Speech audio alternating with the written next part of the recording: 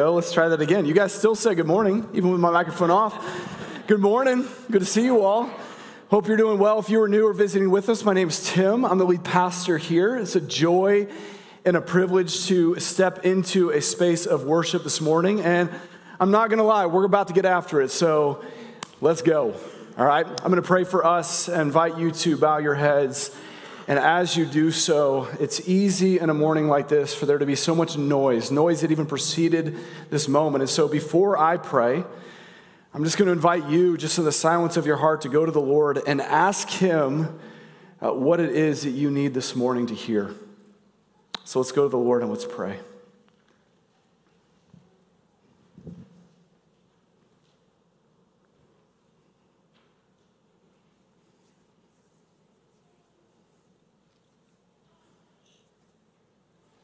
Father God, Son, and Holy Spirit, we ask that you would be present with us right now. We ask, Lord, that you would speak to our hearts, speak to our needs.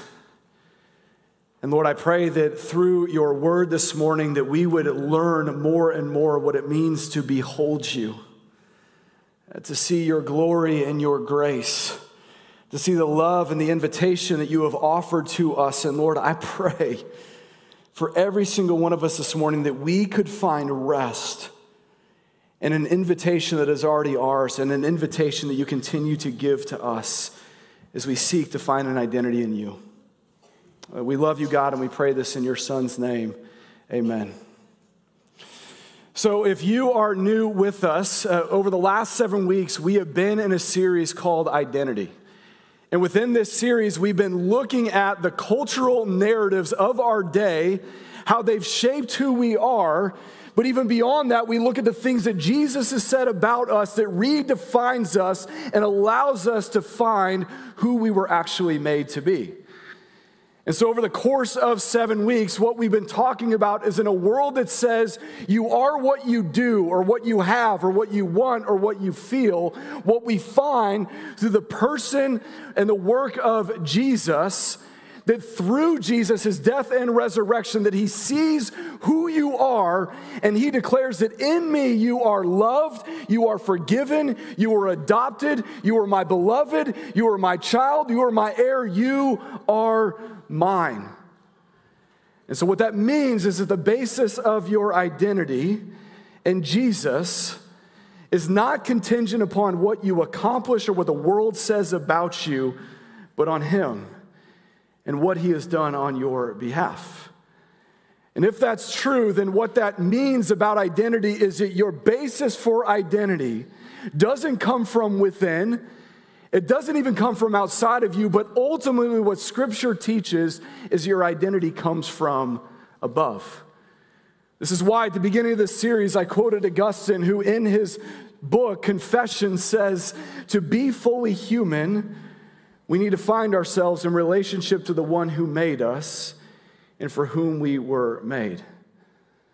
The whole thesis of this series is if you want to discover who you really are, what you were made for, what health and purpose and integration looks like in your life, it will only come when you learn how to rest your identity in Jesus.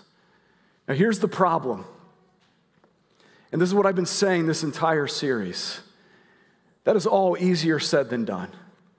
See, we can talk about resting our identity in Jesus, but at the end of the day, what we have to reconcile is the fact that we have competing voices, loves, and desires that exist within us. And so, as we finish the series today, here is where I want to leave us one last I am statement, one last theme. And the statement is this I am who you say that I am. And what I want to talk about today is how can we, as followers of Jesus, practically live into what we've already been given in Jesus? Like, how does this become a sermon series that moves from the theoretical to the practical? And what does Jesus give to us that can allow us to fully walk into what he has already declared we have access to? And really, to that end, it's why we come to this passage in Colossians chapter 3, where what Paul is going to do is give us three practical ways that we can grow and we can mature in our understanding of our identity in Jesus. So I got a lot of time today. I know kids, you're hanging out with us. I'm so glad that you're here, but we're going to get after it real quick. Three things. The first thing that Paul says to us of how we grow and rest in our identity at Jesus is we become people who learn how to seek truth. Look at verse 1. It says, If then you have been raised with Christ, seek the things that are above. Where Christ is seated at the right hand of God, set your mind on the things that are above not on things that are on earth, for you have died and your life is hidden with Christ in God. When Christ, who is your life, appears, then you will appear with him in glory. So, right at the beginning, verse 1, he says, If then you have been raised with Christ. What Paul is implying is if this is who you are, if this is what you've been given in Jesus, if this is what his death and resurrection have given you access to, then everything I'm about to tell you is how you can now experience it. So, what does he say? Well, first, he says to seek the things that are above, where Christ is seated at the right hand of God. What Paul is doing is first, he is speaking to the positional authority of Jesus in a post resurrection reality.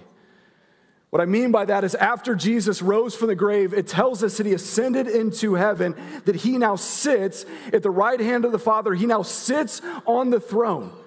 And so, what that means is Jesus' authority in our lives today is the authority of a king. That Jesus has power, real power, and he rules and reigns not only over this world, but he rules and reigns over our hearts. And so, the implication is in Jesus, you are placing your identity not in something or someone that is conditional or circumstantial, but in the one who is unconditional and secure. And so here is the implication. There are my lights. I've been waiting for them. I'm like, the sun must shine down right now. Here they are. So here's the implication of what that means. If this is what we have in Jesus, it means that we must become people who learn how to curate our minds, how to index our hearts on the things of Jesus.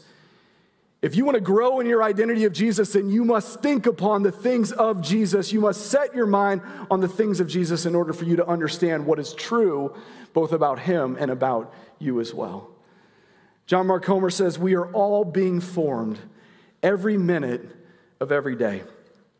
We're all becoming someone, intentional or unintentional, conscious or subconscious deliberate or haphazard. We're all in the process of becoming a person. The question isn't, are you becoming somebody? The question is, who are you becoming? Simply put, what Paul is getting at, what Comer is referencing, is what you give your attention to. Where you put your focus is ultimately going to shape who you become. And I would just ask you this morning do you have any awareness of what you give your mind to and the ways in which it is shaping you? Let me just kind of give you a snapshot of what concerns me about us as people in general. What, what most studies show is that on average, Americans, all Americans, this is adults, watch five to six hours of TV per day, or they spend five to six hours in front of a screen streaming something. The average millennial spends four hours a day on their phone, with the majority of that being spent on social media. So I did a little bit of math, and if you add those two realities up, guess how much time of your life is spent in front of a screen being inundated with the voices of other people? 10 years. A decade of your life is spent. Now, look, for some of you, that probably that statistic's true. For others of you, you're like, no, that's not me. It probably is more than you want to give yourself credit for. And here's the thing that I want you to reconcile, and here's the thing as a pastor that concerns me. If that's the amount of time, and let's just say some of it's close, that we give to other voices shaping us, how does that stack up related to how much time we spend with the Lord? See, for many of us, we are very comfortable sitting all day scrolling on our phones, but we cannot find 10 minutes of our day to actually just sit before the Lord. And we wonder what is actually winning our hearts? What is actually winning our mind? Why is it that I find myself susceptible to continue to buy into these lies that are shaping my identity? And look, if you hear this today, there's no shame or condemnation. Like, I can binge watch Netflix with the best of them. Like, I fall into the statistic just as much as anybody else. The reason why I bring this up is because I think for the majority of us, we are completely unaware of that reality. We are unaware that there's even another voice that is shaping our identity. And what Paul is saying is that if this is who you are in Jesus, then the way that you live into that is you must set your mind on the truth of Jesus. Dallas Willard says, as we first turned away from God in our thoughts, so it is our thought, in our thoughts that the first movements towards the renovation of the heart occur. Thoughts are the place where we can and we must begin to change. I want you to think about Jesus for a second. In particular, I want you to think about Matthew chapter 4. Months ago, I preached on this passage. If you remember Matthew chapter 4, the chapter previously, Jesus is going to be baptized. Remember this? Jesus goes into the water. John the Baptist is going to baptize him. And when Jesus comes out of the water, the voice of God descends upon him. Do you remember what the voice of God says? This is my son in whom I love, with whom I am well pleased. Then we get to Matthew 4. The very first thing that Jesus does being inaugurated into ministry is he goes into the wilderness. 40 days praying and fasting. At the end of that 40 days, who shows up? The devil. Thank you, kid. Satan. You, I, I, need some call and response. Kids, you can jump into this. Teach these adults how to respond, right? Satan shows up. And what Satan does in that moment is he tries to whisper lies to take Jesus outside of the identity that God has already declared over him. So Satan says, if you do this or if you do that, you'll have more power, more authority, then you will be God. But what does Jesus do in that moment?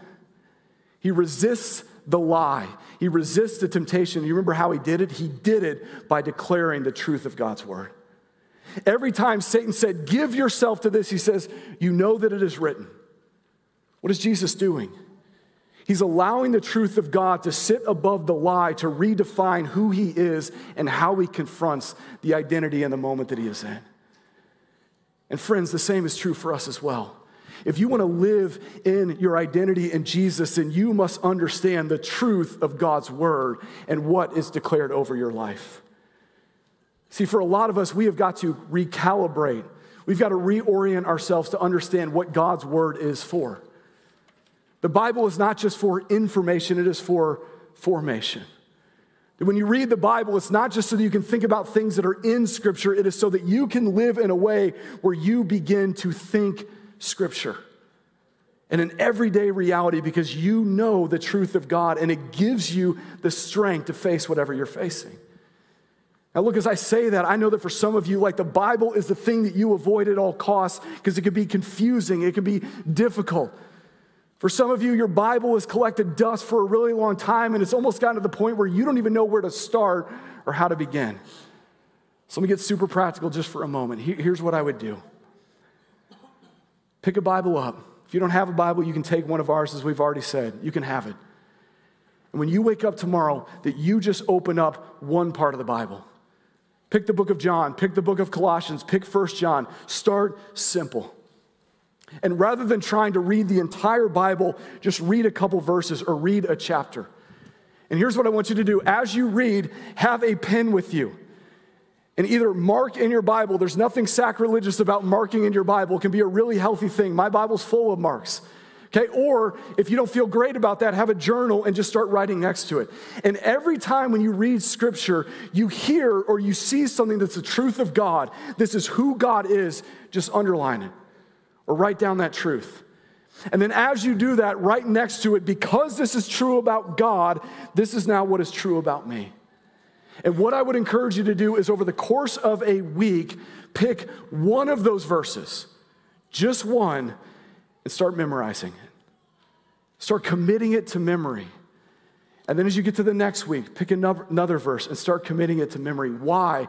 Because you want to create a Rolodex of the truth of God's word over your life and over your heart so that when temptation comes, when you are prone to buy into the lie, you have it. So for some of you, when you face a moment where you feel anxious, or you feel like life isn't going the way that you expected, and you are prone to believe, I am a failure. Why am I not what I'm supposed to be? All of a sudden, you can be like, oh, yeah, Psalm 23 1. The Lord is my shepherd, I shall not want. He's here, He's with me. I can find peace in Him. Or maybe for some of you that in moments of despair, in moments of darkness where maybe life isn't going the way that you thought and it's causing you to question is God really there? Does God really love me? You can pull up a verse. The Lord is near. The Lord upholds things. Therefore, the Lord will not forsake you, nor will the Lord leave you. And you allow the truth to cover the lie to then begin to recalibrate the way that you experience and walk through whatever you're going through. I would just ask you right now what is winning your heart? What is winning your mind? I'm not encouraging you to read the Bible to fill out some religious checklist. I'm encouraging you to read the Bible because we need the truth of God shaping us. So, what Paul says is set your mind on the things above. But the second thing that he does, and this gets a little bit interesting for a moment, he says the second way that we live into our identity is we become people who learn how to kill sin. What does that mean? Look at verse 5. He says, Put to death, therefore, what is earthly in you sexual immorality, impurity, passion, evil desires, and covetousness, which is idolatry. On account of these, the wrath of God is coming. In these you too once walked when you were living in them, but now you must put them all away. Why is he telling us this? Jump to verse 9. He says, Do not lie to one another seeing that you have put off the old self with its practices and have put on the new self, which is being renewed in knowledge after the image of its creator. What Paul is acknowledging is that even though this is who we are in Jesus, and even though that identity is secure, our problem is that there is a war that is raging in us. And the war is this it's a war between what our desires are versus what our hearts most long for.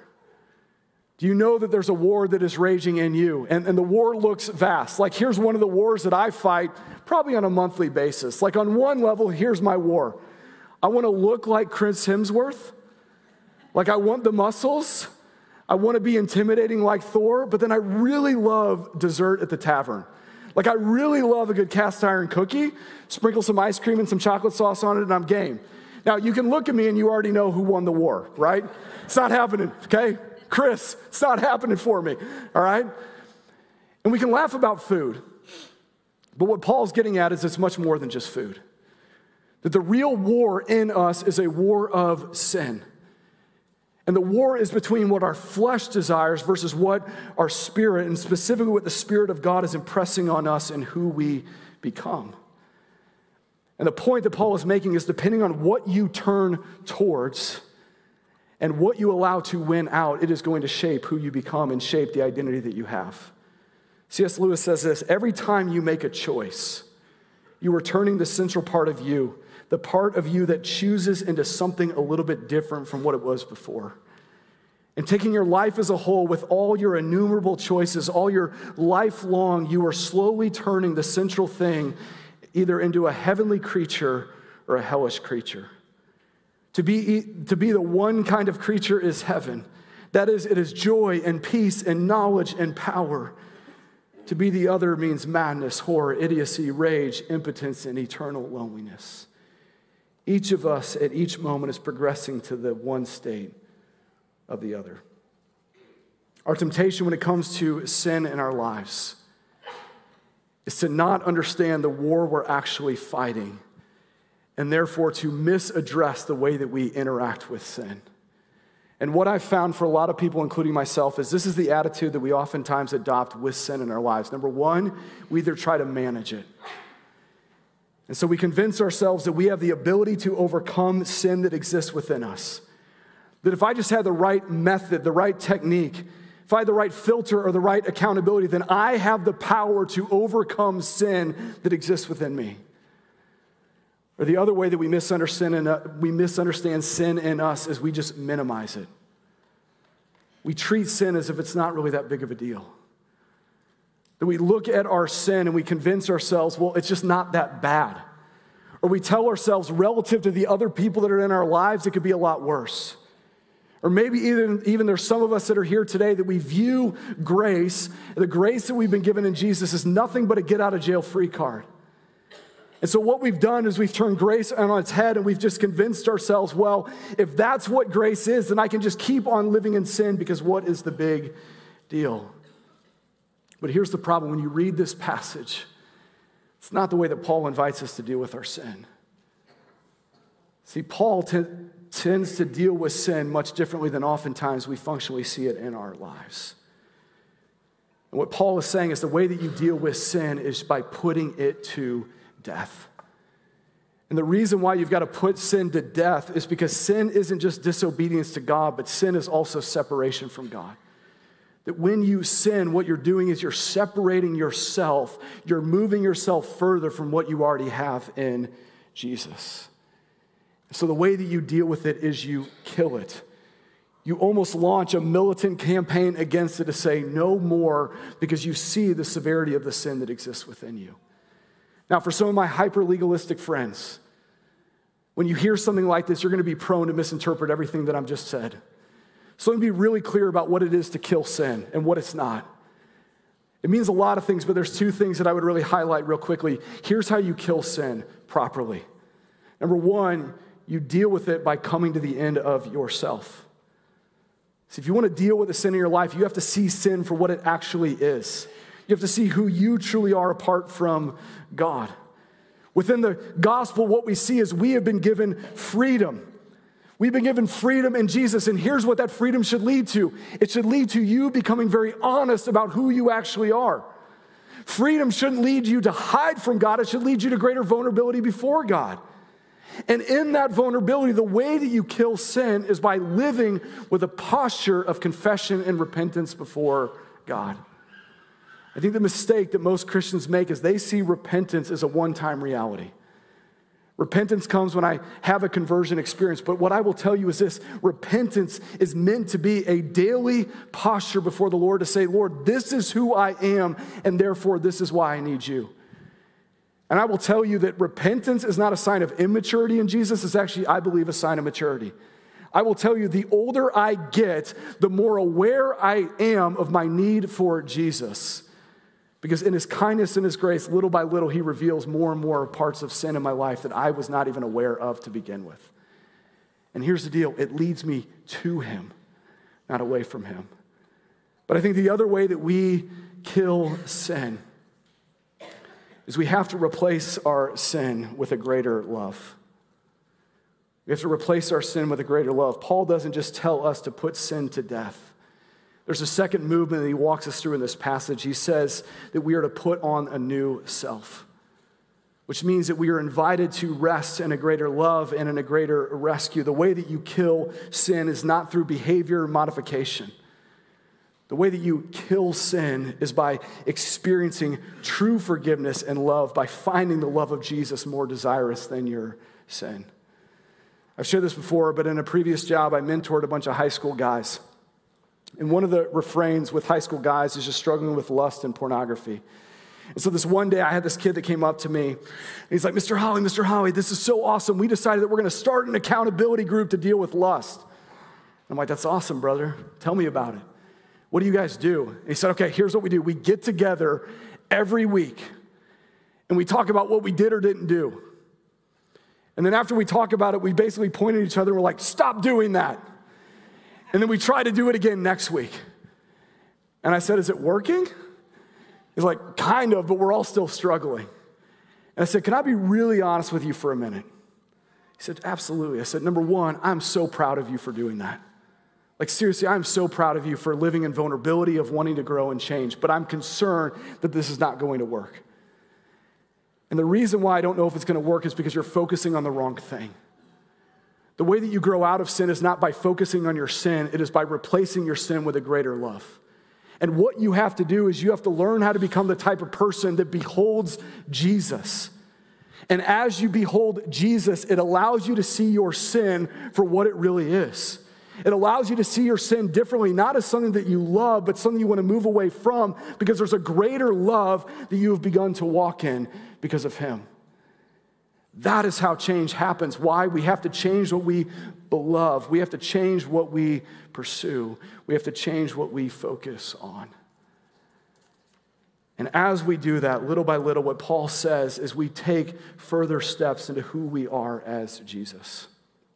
Final thing that we see in this passage is the way that we walk in our identity in Jesus as we clothe ourselves. Verse 12 Put on then as God's chosen ones, holy and beloved, compassionate hearts, kindness, humility, meekness, patience, bearing with one another. And if one has a complaint against one another, against another, forgiving each other as the Lord has forgiven you. So you must also forgive. And above all these, put on love, which binds everything together in perfect harmony. And let the peace of Christ rule in your hearts. The way that we rest our identity in Jesus is by living in a way where we begin to become more like Jesus. When I was reading this this week, I couldn't help but think about the fruit of the Spirit. There's so much parallel in what Paul was saying in Colossians 3 in the same way that he says it in Galatians 5.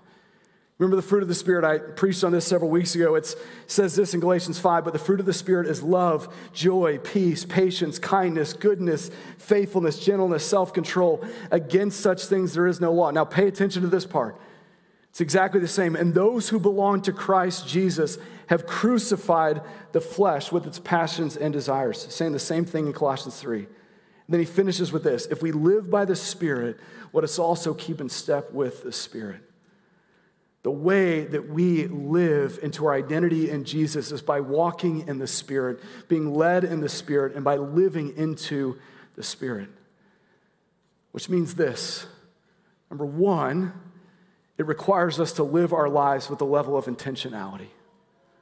Here's the truth you don't stumble your way into maturity and growth in Jesus. Like you trip your way into it, but you're received on the other end with the Spirit because what you've done is you've created a margin in your life. You've created an intentionality in your life. Why? To actually experience the presence of God, the Spirit of God working in you. So, if you want to grow in Jesus, if you want to rest your identity in Jesus, it's going to require a level of intentionality. What are you intentionally pursuing? You're pursuing the Spirit and then allowing the Spirit to work. And what Paul is basically saying is this if you want to grow in Jesus, it is not going to come through your willpower, but it's ultimately going to come through the Spirit's power in you. That what you need is you need a greater strength, a greater presence, a greater comfort outside of yourself. And as you continue to pursue Him, here's what begins to happen. Little by little, day by day, over the course of a lifetime, you begin to change. And you begin to look more like Jesus. So the point that this passage is trying to make is you already have access to this power and the promises of Jesus today. You already have it. The question is will you walk in it and will you receive it and will you grow as a result of it? I've shared this many times with you all before, but in a previous life when I was in college, I used to be a backpacking guide. So, over the course of two summers, I took 20 something trips with high school students, and we would go in the wilderness for six days at a time. And I don't know what your impression of backpacking is, but this is like primitive hiking, right? You carry all your stuff, you eat what you brought. There are no bathrooms. There is no shower. Like you're not seeing anybody for six days. And so here's the deal after six days, you are filthy. You smell terrible. It's awesome. All right? But the beauty is, you're in a community where everybody is filthy. And so, in some ways, you don't actually know how filthy you are. You don't know how dirty you are, how bad you actually smell until you get back to camp. And all of a sudden, you get back to camp and you become a little bit more aware. And one of the highlights for every kid, I don't care who they were, when they got back to camp was the moment you could go jump into the shower. Right? And when you jumped into the shower, that was the first time where you realized, oh, this is bad. Like, I stink. And you just have, I mean, I'm not kidding, layers of dirt just coming off of you at one time. At least I did. And it's glorious because for the first moment, you realize what it feels like to be clean again. Things that we take for granted probably on a daily basis. But here's what's amazing every time I took one of those trips, here's what I never saw happen. Not once. I never saw a kid get clean. I never saw a kid walk out of the shower and the first thing that they did was they then put back on the clothes that they were wearing for the last six days. No one ever did it. Here's why because those clothes that they were so comfortable in 25 minutes before, after a shower, they saw it for what it truly was. They saw it for the dirt, they saw it for the stink, they saw it and they're like, forget that. I don't want that anymore. That is the essence of what Paul is writing about in this text. When you experience the love and the grace and the acceptance of Jesus, when you live in a way where you have this level of intentionality and you begin to grow in Him, what it begins to do is it causes you to look at who you were and say, No more. Because what I've been offered in Jesus is so much greater. And friends, can I tell you that there's nothing that you have to do to receive that invitation today other than just to receive it? Like the invitation's already there, the identity has already been declared over you. Now, all you have to do is receive and to walk in it. And that is my prayer for you this morning that you would receive it and that you would grow into who Jesus created you to be. So, as I close, I feel like I can't just close this sermon or this series. I feel like, in a lot of ways, and I'm just going to share my heart very vulnerably for a moment, I feel like I'm closing a chapter for us. Uh, some of you know this, some of you don't. Some of you are brand new and you're trying to figure out why I still use my hands like this. You're like, what is, who is this guy? What's going on here? But here's the deal tomorrow I am going on sabbatical. And I'm going to be on sabbatical for the next two months, and I'm going to be out of here for the next two months. And as I've been preparing for that, and especially as I've been praying over the last several weeks, I really feel like this is a close to a chapter. It's a close to a chapter both in my life and in my story, but I also believe it's a close to a chapter in the life of our church as well. And here's why I say that. I came to this church three years ago, and I came right in the middle of a pandemic. And I came in a season where there was a lot of transition, there was a lot of hardship, and there was a lot of challenges and questions that we faced about our future. And I feel like for the last three years, if you would ask me, Tim, what are you trying to do? What are you trying to communicate? There's two things that I've wanted to communicate to you. It's this number one, following Jesus is really hard. And here's the second thing that I've tried to impart on you following Jesus is also really beautiful. It's the most life changing thing you will ever experience. And I can tell you that over the last three years, I've seen God do miraculous things in this church. I've seen God transform people's lives. I've seen people come to Jesus.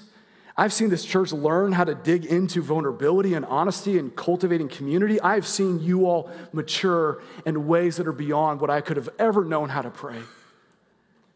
And I can tell you that over the last three years, this has been the greatest joy of my ministry career. And so I want to thank you. I want to thank you for being that kind of church. And I want to thank you for loving me and my family. And I also want to thank you for allowing me, and I believe it, you're allowing me to go and rest for two months. But the reason why I think that this is a chapter closing is because when I step back in in August, you may not know this, but this is something that I'm very aware of. We are stepping into a whole new season as a church. We have been planning for the last 18 months to become autonomous, to become an independent church. We've been part of this multi site reality for a really long time. And come July 1, we will be an independent church. If you've been a part of the journey for a really long time, we've had a hard story. Beautiful, but hard. And as I've been praying and preparing, not just for when I leave, but for when I come back, the thing that I've been praying about is God, prepare us to go to wherever it is that you want to take us. And I really believe that for this church and for us and for you, this is the beginning, and in some cases, the continuation of a beautiful story that God has already been telling for us. So, my prayer for us is that when we step back into this next season, when I step back into this thing with you, that we would be a church that wouldn't just exist for ourselves, but we would be a church that would see how the gospel can go forth in the communities that we are a part of. That we would be a church that would say, we want more of Jesus. Because we know that we're only scratching the surface of what he has offered to us and what it looks like to begin to grow in him. That we would be a church that would continue to grow in community, that we would cultivate vulnerability and transparency, and we would see our need for one another. And this is not just this lone wolf, isolated thing that we're trying to do by ourselves. And my biggest prayer, and the reason why we did this series right before I went out, is that we would be a church that would learn to rest our identity in Jesus. I want to be as clear, and as long as I'm your pastor, I will forever say this. This is not my church. This is not your church. This is his church. And if we are going to live into all of who Jesus has called us to be, then we must learn how to become the people who learn to rest and what he has invited us into. I love you all. I'm so grateful for this church. I'm also really grateful to be gone for two months. I'm not going to lie. And I want you to know that I'm, thank you.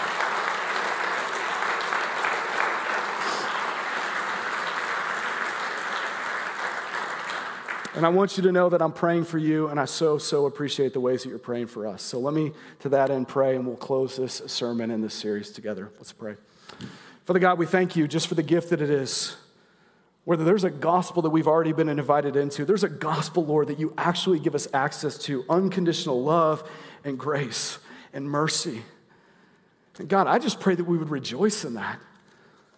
Or that we would rejoice in the fact that this is not up to us, but instead, Lord, you have given us an invitation to walk and to rest in you. And God, I pray that you would teach us more and more what it looks like to grow in you. For those who are here today struggling, struggling in sin, struggling in shame, struggling with voices and lies that have defined who they are, the stories that they've been living, Lord, allow us to experience the truth of your word. And Lord, I pray that as I preach this morning, that my words would be met with a spirit of humility and grace. Because, Lord, that's the posture that we have in our Father.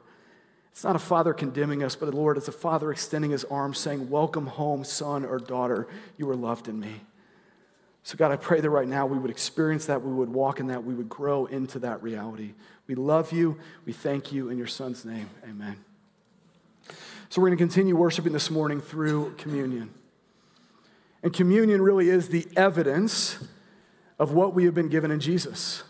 It's a tangible way each week that we come forward and we are reminded this is who we are. This is where security and our acceptance lies, not in ourselves, but in the person and the work of Jesus and what he has done on our behalf. On the night that Jesus was betrayed, he took bread and he broke it. He said, This is my body broken for you. Eat this now in remembrance of me. In the same way, he took a cup and he said, This cup represents the new covenant of my blood for the forgiveness of sins. That as often as you eat this bread and you drink this cup, you proclaim my death until I come again. So if you have put your hope and your trust in Jesus, this is a meal for you to receive, to walk in, to celebrate. And my prayer, here's my prayer right now in this moment that as we come forward, as we continue to sing two more songs, that this would not just be let's sing the songs to get out of here, but that this would actually be a moment of worship. Say, I want more of that. Lord, teach me, show me and that we would celebrate what He has done on our behalf. So when you're ready, come forward, eat, drink, and celebrate the finished work of Jesus for you.